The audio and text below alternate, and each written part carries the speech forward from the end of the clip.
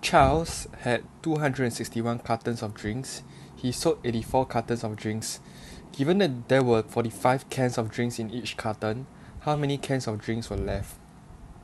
Okay, so total drinks. Okay. Total amount of cartons left. Okay, initially he has 261 okay he sold 84 right? So how much would that be left with? 177 cartons.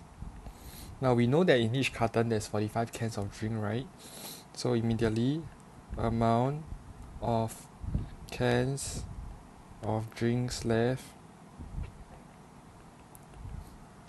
Okay 177 times 45 okay that will give us 7965 cans Okay, that's the solution of this question.